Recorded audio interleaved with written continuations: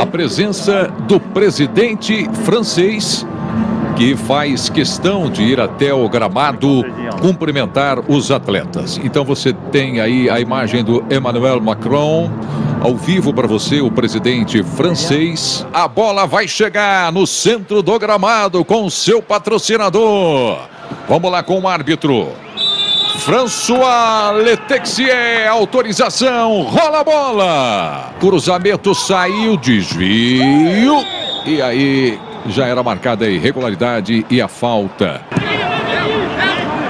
Quer valer? Olha o Mbappé, Faz um Sporting Bet aí. fazer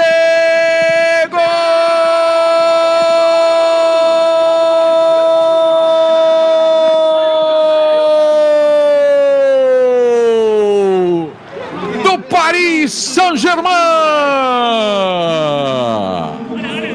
Saída errada do Mônaco, arriscada, bola perdida ali atrás, na área.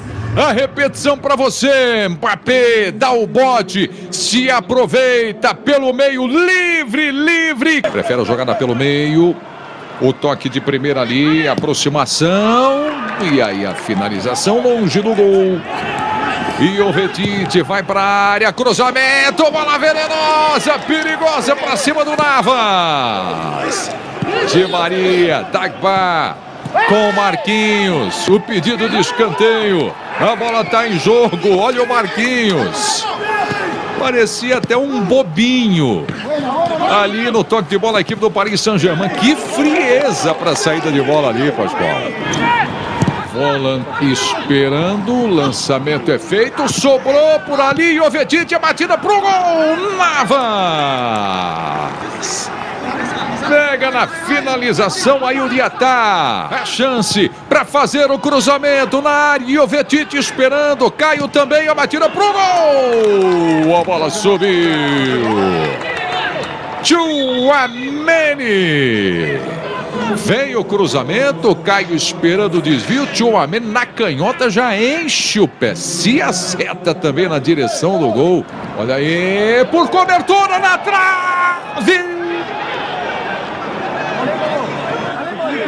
Explode no travessão, quase um golaço!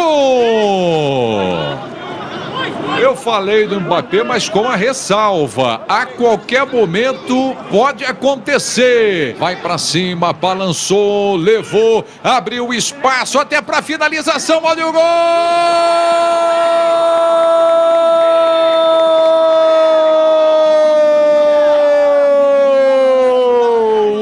Do Paris Saint-Germain!